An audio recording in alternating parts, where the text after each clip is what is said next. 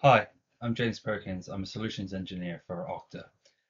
And today we're going to look at the workflow template to send a notification to a user when their profile is updated. There's many reasons why you, my, why you may want to send a notification to a user, uh, such as when they log in from a new device, when their password's changed, or in this case, when their profile is updated. Uh, quite commonly, that reason is to do with security.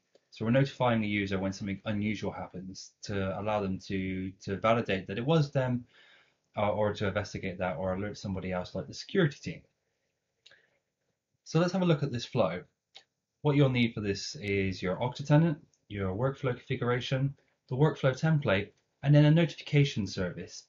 In this workflow template, I'm using Slack, but you could use something like Microsoft Office 365 or Gmail to send a notification to that user.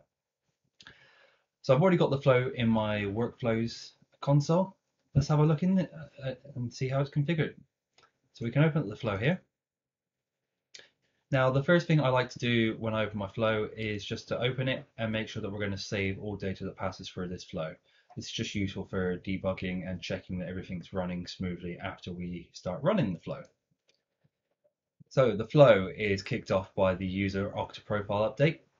So we're going to monitor when uh, the user's profile is updated, and then that's what's going to kick off this flow. The next thing we're going to do is we're going to construct a list. Now this is a list for you to decide of what attributes you want to alert the user on. So in this case, I'm only going to alert the user when one of these attributes are updated, such as the primary phone number, their email address, or their manager attribute. If a different attribute is updated, such as their department or their location, anything that's not in this list, we're not going to notify that user.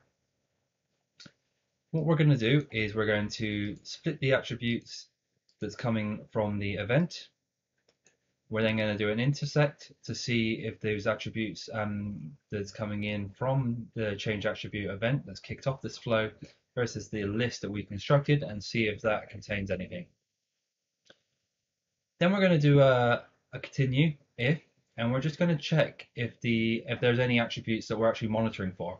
So if an attribute that was changed that kicked off this workflow was something that we're not monitoring, such as the department, then we can stop this flow here. Next we have an if-else statement. This is if-else statement allows us to compose two different messages depending on who changed that user's attribute. So we can see here the condition is if the actor is the Okta user, then it's likely that the user themselves or an attacker pretending to be that user is the one who updated their profile. So we're going to compose a message along those lines. Otherwise, else, the, the user's profile is updated by somebody else, such as an administrator, maybe an API token, or an external application that's got a connection, such as a HR tool or maybe a directory. So again, we're going to compose a message along those lines to inform that user. Next, we read the user's profile. This just allows us to pull out additional attributes such as the user's first name, their last name, their username, and then we can also tell them what the change attribute was, and then that compose message based on the actor here. And then finally, we're looking at sending that notification to the user. In this example, I'm just sending a message to a channel in Slack, but of course, you may not want to do that. You might want to send it directly to the user, or you may want to use an alternative system. So you can configure that here. For example, we could look at sending Office 365. And then once we're in Office 365 mail, we can click send email. We select the connection and then we can drag the user's email address in here, define a subject. The body will be this message that we're going to send to the user and then we could e notify the user by email instead of Slack. Perfect. So that's the flow set up. All we need to do now is turn this flow on.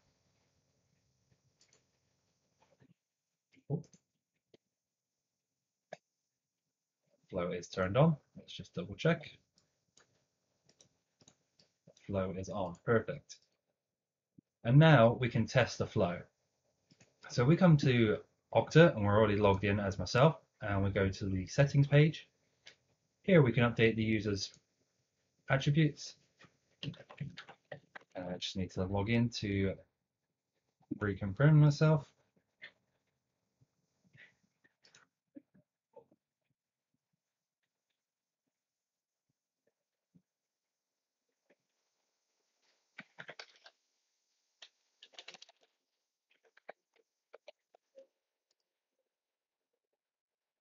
So we can edit my profile. And then remember, we're only monitoring for those particular attributes. So we updated my secondary email. We're not going to notify the user. So in this case, let's update the user's primary phone number.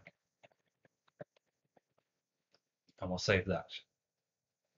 Now what we should see is in workflows, in the flow history, we'll see an event happen and then we'll see a message in Slack. So we can see the new message has just appeared in Slack and we can look at the flow history.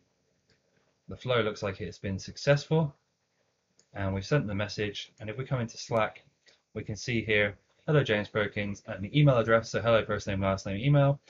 We notice your profile was updated and it was the attribute primary phone. It looks like you updated your profile. If you did not please notify the security team. Alternatively if we log into the admin console as an administrator we look at the user's pro uh, different user's profile. And let's have a look for Luke Skywalker. We come to their profile and we edit it and let's change our manager to Daniel. And we save that. Again we should see this flow kicking off. So a user's profile has been updated. And we can see here hello Luke Skywalker. We notice your account profile was just updated. The attribute was manager.